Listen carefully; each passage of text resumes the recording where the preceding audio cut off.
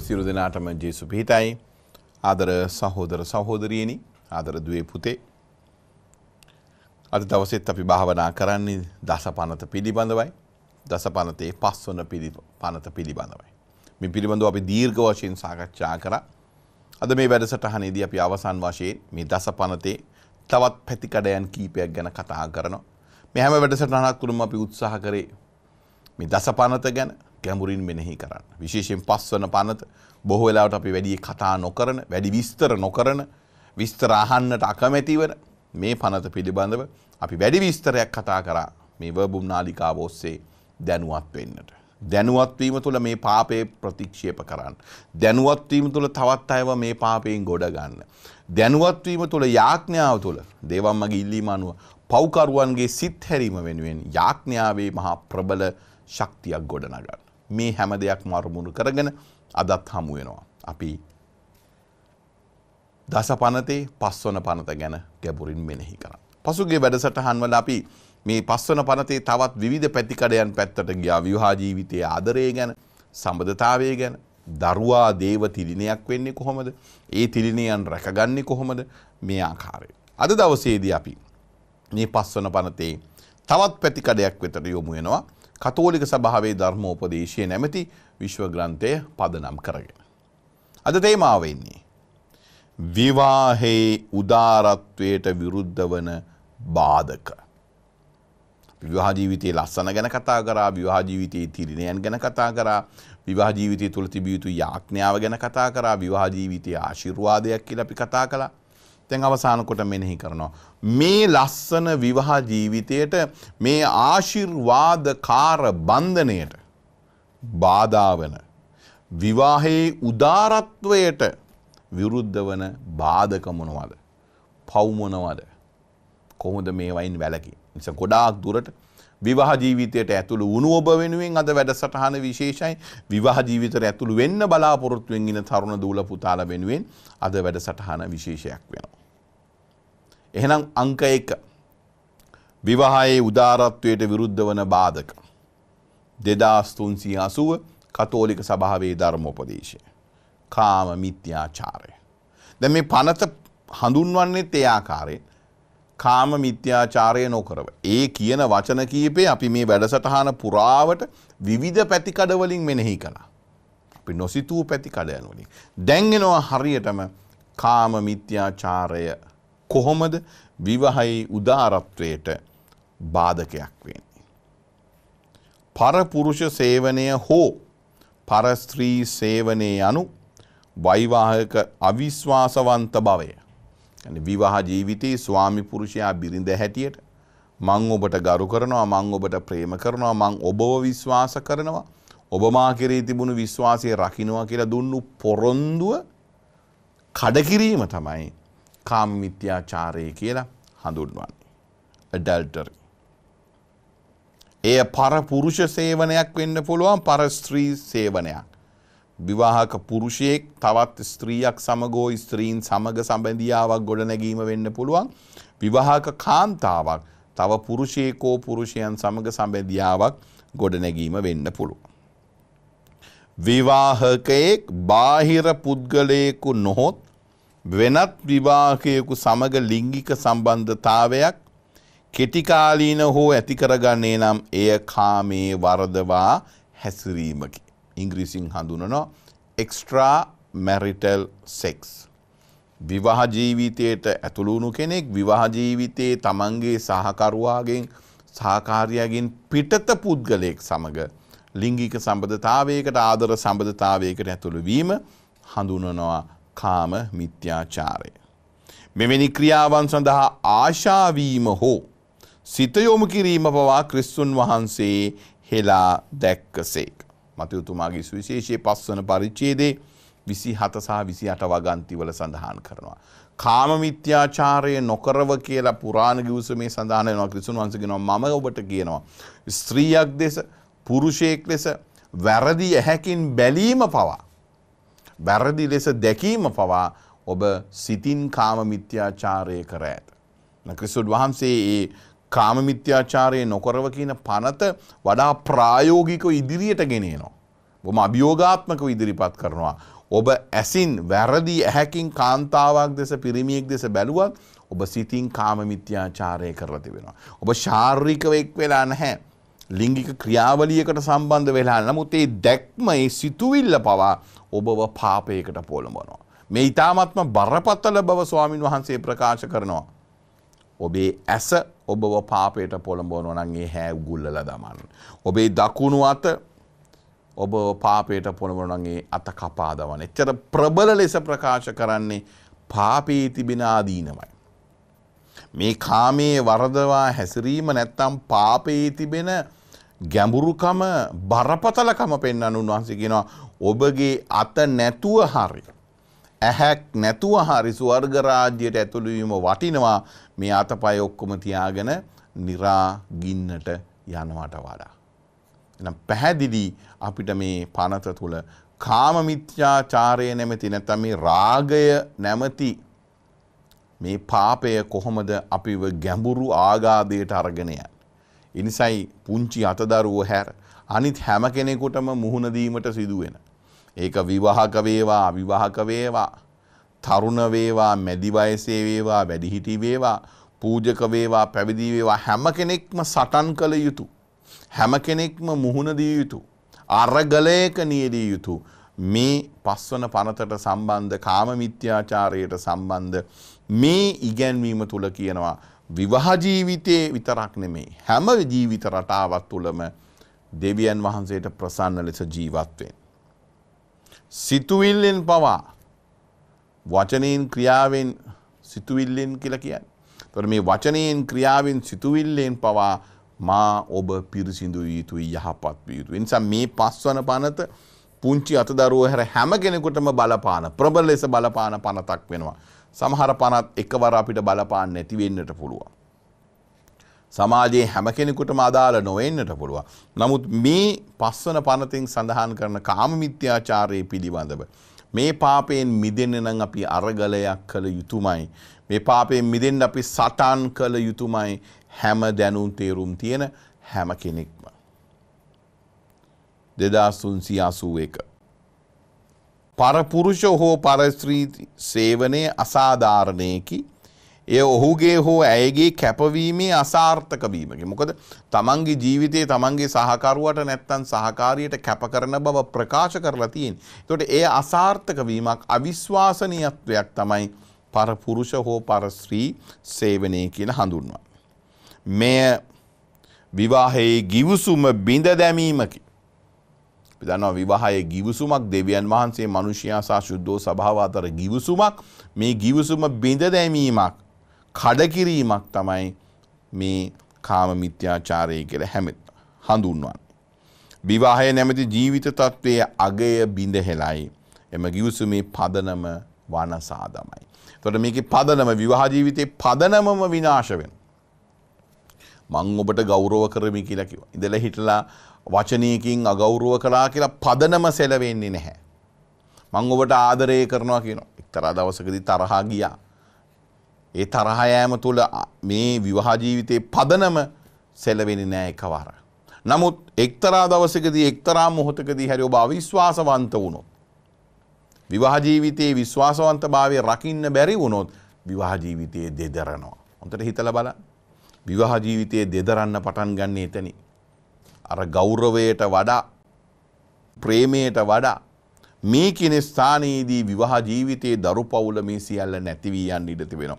එනිසයි වඩාත් පරිස්සම් වෙන්නට ඕනි මේ හා සම්බන්ධ. ඒතර විවාහ ජීවිතයේ උදාරත්වයේ කෙලසන ප්‍රධානම සාධකයේ වෙන්නේ කාම මිත්‍යාචාරය. දෙවෙනි දේ හැටියට සඳහන් කරන්නේ දික්කසාදය. ඩිවෝස් විවාහය බිඳ දැමිය නොහැකිය යන්න මැවුම්කරුවානන්ගේ පැතුමය. දෙදස් තුන්සිය අසූ දෙක කතෝලික සභාවේ ධර්මෝපදේශය. ක්‍රිස්සුන් වහන්සේද එය එලෙසම ස්තීර කලසේක.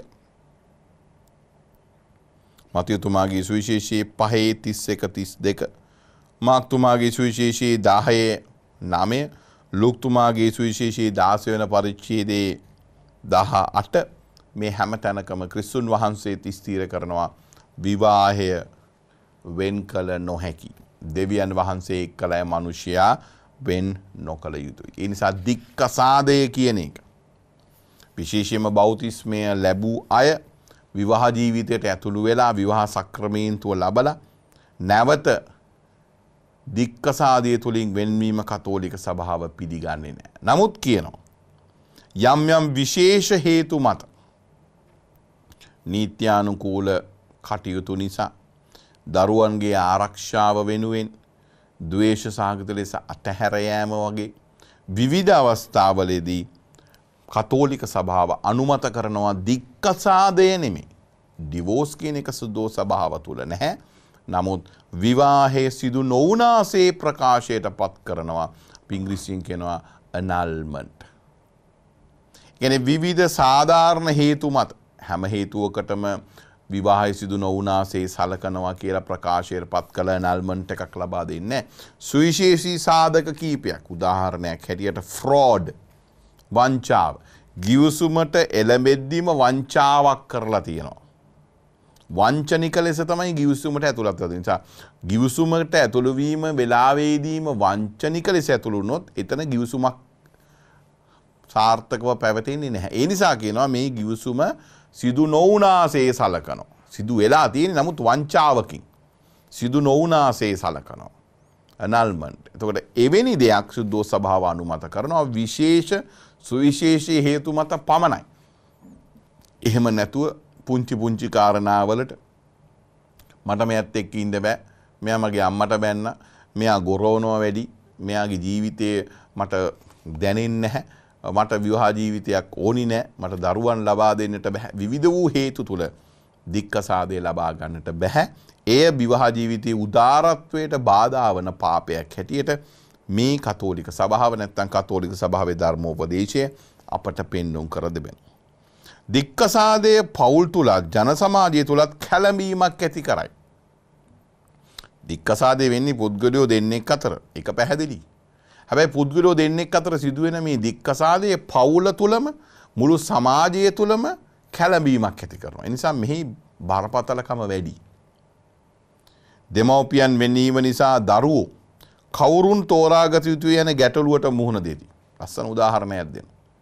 කැලඹීමට පවුල තුළ කැලඹීමට ප්‍රධාන දෙයක්. අම්මයි තාත්තයි වෙන්වීම තුළ දැන් දරුවට තෝරගන්න වෙනවා මං අම්මත් එක්ක ඉන්නවද තාත්තත් එක්ක ඉන්නවා. මගේ බරකරුව හැටියට තාත්තව තෝරගන්නවද අම්මව තෝරගන්නවා. තොරමින් දරුවට හරි කරන්නට බැරි දෙයක්. මේ මගේ අම්ම මේ මගේ තාත්තා. ඔවුන් දෙදෙනගේ ප්‍රශ්න ගැටු තුළ දරුවාට වෙන්වෙන්නට බෑ. හැබැයි නීති අනුකූලව දැන් දෙන්න වෙන් වෙනකොට දරුවොත් වෙන් වෙන්නට ඕනි. මේ දෙදෙනම රැක බලා ගන්න බැරි නම් මේ දරුවන්ව පරිවාස භාරයට නැත්තම් ළමා නිවාසයකට ඇතුළත් කරනවා. ඒක තවත් ඛේද ජනක සිදුවීමක් වෙනවා. ඒ නිසායි කියන්නේ දරාගෙන ඉදිරියට යන්න. පහසුයි විවාහවෙන් ඊටත් වඩා පහසුයි දෙක්ක සාදවෙන්. නමුත් මේ පහසු දේ නෙමේ යුතුදේ යෝග්‍යදේ තමයි මම තෝරගන්නට ඕන්. ඔබ තෝරා ගන්නට ඕන්. නිසාතරම් මේ තාත් එවැනි ප්‍රශ්න තුළ ඉන්න කෙනෙක් වෙනට පුළන් ඔබ සමහරයම කියනවා. පාද මේ දරුව නැත්තම් මෙලාට මම දාලගිහිල්ල. දරුව නිසා මම ඉන්නවා. මේ දරුවන්ට තාත් එක් ඕන නිසා මම ඉන්නවා. මේ දරුවන්ට අම්මෙක් ඕන නිසා ඉවසනවා. පහසු නෑ පවුල් දෙකක් චරිත දෙකක් අත්දැකීම් විවිධයි දෙදෙනෙක් එක්නෙක් වෙනවා කියලා ආශිර්වාද කාරබන්ධට එකතු වුණාට මේ දෙදෙනා දෙදෙනාගේ ගති ලක්ෂණ පෙන්නුම් කරද්දී ජීවත් වෙන්න අමාරුයි. නමුත් දරුවන් වෙනුවෙන් Taman එළමනු ගිවිසුම වෙනුවෙන් මේ ජීවිතය ගෙනියන්නට ඕන. එහෙම ගෙනෙන පිරිස බොහෝ දෙනෙක් ඉන්නවා. ඔවුන් උදාරයි. ප්‍රශ්න ගැටලු නැහැ නෙමෙයි. කඳුළු නැහැනෙමේ කඳුළු තියෙනවා ප්‍රශ්න තියෙනවා නමුත් ඉදිරියට යනවා. දරාගෙන යනවා දෙවන් වහන්සේ ඉදිරිය දුන්නු පොරොන්දුව කඩ කරන්නේ නෑ. ඒ පොරොන්දුව දාලා දුවන්නේ නැහැ. නිසා අදරම් මේ තාත්තේ මේ දරාගැනීම ඔබට ගොඩක් අවශ්‍ය. අද සමාජයේ ගොඩක් අඩු වෙලා තිබෙනෙත් මේ දරා ගැනීම අපි කියන එන්ඩුවරන්ස්. දික්කසාදයට ප්‍රශ්න ගැටවලට ගොඩක් හේතුව පුංචි කාලෙන්දලා දරුවන්ට දරා ගැනීමට අපි උගන්නන්නේ නැහැ. දරා ගැනීම කියන එක ලබා දෙන්න එනිසම දරු උස්මහත් වනෑන් පස්සෙත් යමක් දරාගන්නට බෑ. මෙළඟදී මහචාරවරයෙක් ප්‍රකාශ කරා අද කාලෙ පුංචි දරුවෙක් සෙල්ලං කර හිටපු සෙල්ලම් බඩුව කැඩුනොත්. පුංචි තමාගේ ගෙදර ඉන්න සුරතලෙක් මැරුණොත් දරු ආණ්ඩනෝ. වැලපෙනවා මේක බලංගිනි බැරි දෙමවපිය මොකද කරන්න පෑවිසි අතරක් යන්ඩ ඉසල තවත් සෙල්ලම් බඩුවක් ආදේශකයක් ගෙනත් දෙනවා. පෑවිසි අතරක් යන්ඩ ඉසල පූස් පැටියෙක් මරුණුත් බලු පැටියෙක් හරි ගෙනල්ල දෙනවා. ඒක ඇනි මොකද දරා ගැනීමට ඉඩ දෙන්නේ නෑ. ජීවිතයේ අනියත ජීවිතයේ තිබෙන මේ අවිනිශ්චිත භාවය තේරුම් ගන්නට දෙන්නේ නැහැ. දරුවා අඩංක බලන්ඩ බැරි එක වෙනම කතන්දරයක් නමුත් දරුවට දරා ගැනීමට ඊට පස්සේ ගෙනල සෙල්ලම් බඩුවක් දෙන්න පුළුවන් තවත් සුරතලෙක් දෙන්නට පුළුවන් නමුත් දරුවා දරාගන්නට ශක්තිය දෙන්නට ඕනි පුතේ මේක තමයි ජීවිතේ සෙල්ලම් බඩු කැඩෙනවා සත්තු මැරෙනවා මිනිස්සුත් මැරෙනවා ජීවිතය කියන්න මේකයි අපි දරාගන්නට ඕනි. මේක දරුවට හුරුව කරන්නේ නැහැ. මේක පාසලේ පාඩම් මාලාවකින් හෝ අන්තර්ජාලයෙන් අපිට උගන්නන්න බැහැ මේක ගෙදරදී ඉගෙන ගන්නට ඕනි. නමුත් මේක ඉගෙන ගන්න ඉඩ නොලැබුණොත් ඊට පස්සෙත් මොකද කිසි දෙයක් දරා ගන්නට බෑ. විවාහ ජීවිතයේ ප්‍රශ්නයක් දරා ගන්නට බෑ. අඩුම ගානේ දරූපතේ වේදනාව දරා ගන්නත් බැරුව සමහර අය තීරණය කරන දරූපත් කල් දාන්න. සිසේරියන් වගේ සැත්කම් වලට යන්න ඉල්ලලා ඇයි දරු ප්‍රසූතියේ ලේබර් පේන් දරු ප්‍රසූතියේ වේදනාව දරන්නට සූදානම් නැහැ. දරා ගන්නට බැරිවීම තුල විවාහ ජීවිතයක් හෝ පූජක පැවිදි ජීවිතයක් ගත කරන්නට බෑ. දරා ගැනීමේ ශක්තිය තියෙනට ඕනි. මේ දරා ගැනීමේ ශක්තිය අඩුවෙන් අඩුවෙන් දික්කසාද ප්‍රමාණය වැඩි වෙනවා. දරා ගැනීමේ ශක්තිය අඩුවෙන් අඩුවෙන් විවාහ ජීවිතයේ ප්‍රශ්න ගැටලු වැඩි වෙනවා. නිසා ඔබ දරා ගන්න පුළුවන් කෙනෙක්ද? එවැනි දරුවන් ඔබ හදන්න. දරාගත හැකි දරුවෝ. වේදනාවක් ප්‍රශ්නයක් අභියෝගයක් දරාගෙන කුරුසේ අරගෙන උන්වහන්සේගේ පසුපස යන්නට පුළුවන් පිරිසක් අපිට අවශ්‍ය වෙනවා. මේ අනුව දික්කසාදය කියන එක සභාව පිළිගන්නේ නැහැ. විශේෂ වූ හේතු මත සාධාරණ හේතු මත නල්මන්ට එහෙම නැත්තං අපි කියන විවාහයි සිදු නොවනාසේ ප්‍රකාශ කිරීම සුද්දෝ සභාව විසින් සිදු කරනු ලබනවා. තොර විවාජීවිතයට විවාජීවිති උදාරත්වයට බාධාවක් වන තවත් පැතිකඩයන් කීපයක් සුද්දෝ සභාව පෙන්නුම් කරනවා. ඒ පදවෙන්න තමයි බහුභාර්ය නැත්තම් බහු පුරුෂ සේවනය.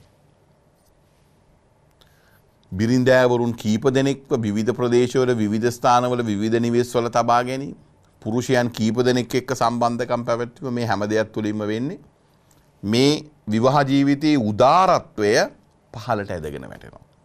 විවාහ ජීවිතයේ උදාරත්වය කෙලසර. සභාව පිළිගන්නෙත් නෑ සමාජයේ පිළිගන්නෙත් නෑ. නමුත් එවැනි ජීවිත ගත කරන බොහෝ දෙනෙක් ඒ හරි මඟ ගන්නට අපි පෙරපදාන් කළ පරිදි අපි යාඥා කළ යුතුයි. දේවම් මගිල්ලීම. පව්කරුවන්ගේ සිත් හැරීම පිණිස යාඥා කරන්න. සමහට ඔබට මට ගිහිල්ල මේ අයගේ ජීවිත වෙනස් කරන්න ක්‍රියාකාරීව දායක වෙන්න බැරිවි. එවැනි චරිත ඔවුන් එලිපිට ඒදේ කරන්නේ නෑ සැඟවුණු ජීවිත තමයි. මේ ජීවිත නමුත් එවැනි ජීවිත ගත කරන බොහෝ දෙනෙක් ඉන්න බව අපි දන්නවා. යාඥා කළ යුතුයි. යාඥාවටයි කැඳවූ.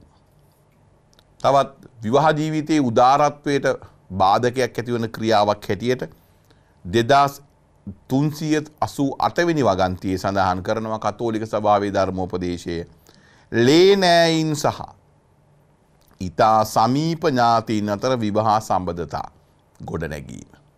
එයත් කතෝලික සභාව ප්‍රතික්ෂේප කරනවා ලේනෑයින් බ්ලඩ් රිලේෂන්ස් සහ ඉතා සමීප සම්බධතාවයන් පැවතෙන. පවුල තුළ ඉතා සමීප සම්බධසාවයන් පවතින අය අතර විවාහ ජීවිතය බාධකයක් වෙනවා සදාචාරාත්මක විරෝධී වෙනවා.